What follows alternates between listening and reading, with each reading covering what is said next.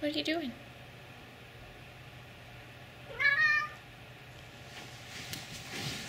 Is it hot today?